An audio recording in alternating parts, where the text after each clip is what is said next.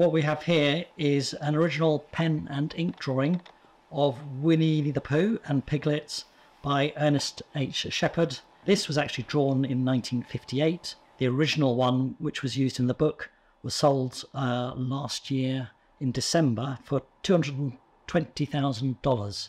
We think this is rather special and the only other one you might find to buy anywhere, and we reckon twenty to thirty thousand pounds.